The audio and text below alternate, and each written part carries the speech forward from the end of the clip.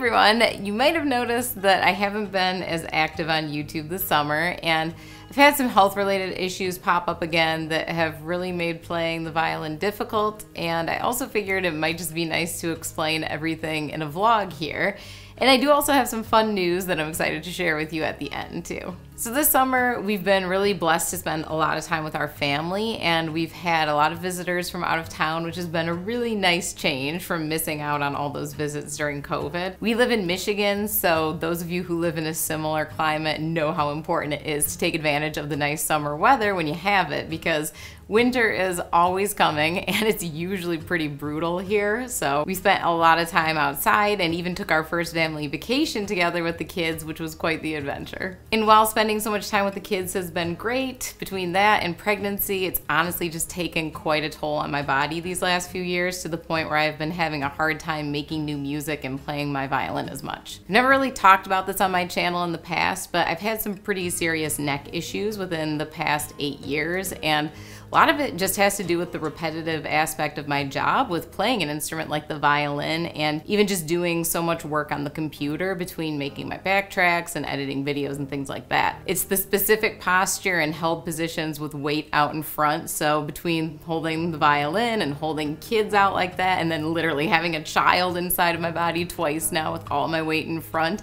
it's just caused quite a mess for my neck. It was really bad when I was traveling so much for my music videos and especially when I started touring back in 2015 and 2016 and I found out that I already had arthritis starting in my neck. But I found a really great integrative health place when we were living in California where I was able to get everything in a pretty good place again between like physical therapy and chiropractic work massage therapy, and especially this technique called cupping. Kind of looks like you got into a fight with an octopus afterwards because it leaves these circular welts on your body for a little while, but that really helped me a lot. It helps with blood flow and softening like extremely tight muscles. So all those things are what helped me manage my issues for a while. And I had been really good about seeing a massage therapist regularly when we moved back to Michigan because that's just always going to be something that's an important part of my routine to have my neck worked on by a professional on a regular basis. And I had still been seeing someone throughout my pregnancy with my first son, Logan, but then COVID hit and all the lockdowns happened and I really got out of the habit of taking care of my neck the way that I should have. And then I got pregnant again in the fall of 2020 and I was even more nervous then about seeing people because I didn't want to get COVID, especially while pregnant. So I wasn't getting my neck worked on for most of that pregnancy. And I ended up having the worst issues about five months into that pregnancy with Walker. And I still don't even know exactly like what was happening or how to describe the pain that I was having, but my neck would get so stiff and inflamed that it would just lock up to the point where I couldn't even move like at all. And I couldn't get any relief from the pain in any sort of position. It was just a constant nerve pain, like running up both sides of my neck and I just had to wait it out until it kind of felt like it would reset the next day when you're pregnant, you're not supposed to take any anti-inflammatory drugs like ibuprofen. So I was basically just stuck in this cycle for four months where my neck would just lock up like that about every five days. And it was honestly horrible and it made it impossible to do just like normal activities, let alone play the violin comfortably. And I was just getting like super depressed about the whole situation and just being in that kind of pain, knowing that I really didn't have anything that I could do to fix it while I was pregnant. So as soon as my son Walker was born, my neck stopped locking up the way it had been and I was also able to take ibuprofen. So I thankfully haven't had that same issue since giving birth in 2021, but my neck has also like never felt the same. And so now fast forward to right now, I've been seeing a chiropractor regularly, doing a lot of my own physical therapy. I've been getting massages regularly. I do foam rolling and lacrosse ball and stretching and all that kind of stuff at home and I am making some progress, but I'm not fully normal still and the things that really cause issues for me beyond playing the violin are things like holding my kids. And so this summer, just spending so much time with them and stuff has been great, but it's also just been causing those issues again. And so I'm very determined to figure this out and fix these issues because I definitely need to be able to spend time with with my kids without feeling like it's destroying my body. And I've just been having a lot of anxiety about the whole situation because we have been talking about possibly trying for a third. We'll see, we'll see if we're able to. And the thought of just going through that whole neck issue again with another pregnancy just honestly really scares me. So I just wanted to let you guys know why I've been a little off with my consistency in the last couple of years, but especially the summer too. So I will keep you posted on everything. And I hope to have some really good news to share with you at some point in the near future that I've gotten everything in a good place again. So since I haven't been able to play my violin as much lately, it actually did open up more time for me to be able to work on something that I've been wanting to for years, but just didn't feel like I had the time to, you know, put into it until now. And that's my new merchandise brand called Beyond Classical. So you may have seen me posting about it if you follow me on other social media accounts, but I wanted to just formally introduce it here too because it is something that I am really excited to share with you guys. So the whole story behind this brand and why I wanted to create it is because basically my whole life I haven't been able to find a brand or products that truly represent my love for the type of classical crossover style music that I'm the most passionate about. I grew up playing mostly classical music and I still do really love classical music, but I've just never felt truly passionate about classical music alone.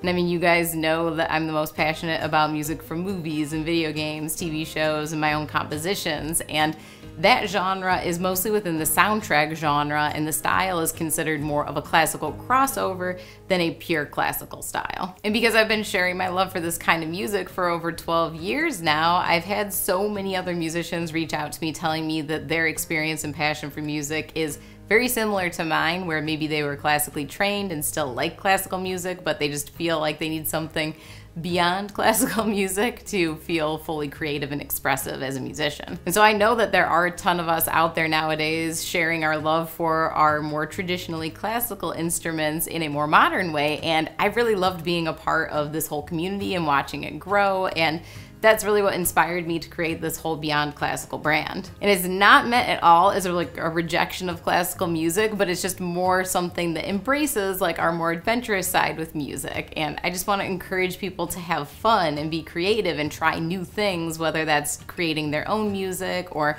maybe playing an arrangement of something more modern that really excites them. I was classically trained. I used to play in a ton of different youth orchestras too, all the way until I graduated from high school. And I'll be honest, I really did not fit in well with the whole culture surrounding classical music because it always felt like it was driven by perfectionism versus creativity. I had a hard time with how mean people could be over things like chair placements or how you'd be crying after an audition that you practiced months for because you played one wrong note and then the judges really really wanted to make sure that you knew you played that wrong note and just in general too how elitist some people can be in the classical world about modern music. I always have found a lot more joy in the creative side of things and it wasn't until I started my YouTube channel back in 2010 and started sharing my favorite kind of music with all you guys that I really kind of reignited my own passion for music because I had lost a little bit of that over the years from not playing enough of the type of music that I was truly passionate about. So that's kind of the whole story behind Beyond Classical and all of our designs are meant to make you feel kind of empowered and creative as a musician and